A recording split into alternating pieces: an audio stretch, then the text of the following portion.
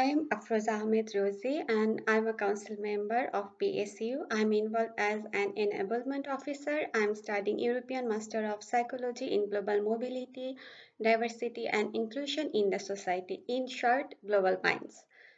And being involved with PSU means a chance to represent and share the concerns of international postgrad students.